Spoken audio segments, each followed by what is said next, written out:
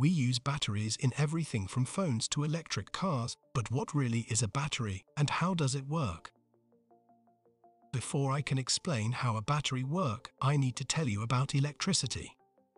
When connecting a lamp to a battery, it will try to push electrons from the negative terminal to the positive terminal, here going through the lamp.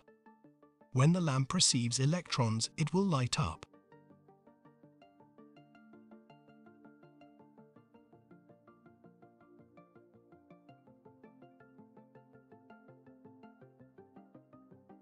Now that we know that electricity is the flow of electrons, it makes sense that the battery has two make a reaction that resolves in the transfer of electrons.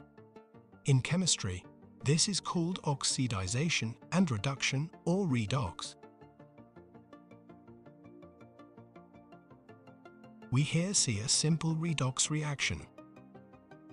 Zinc here transfers to electrons to copper.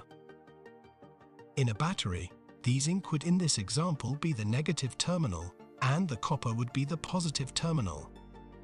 In some batteries, like in phones or cars, we can recharge the batteries by adding new electrons to the zinc. The reaction can thereby start all over again.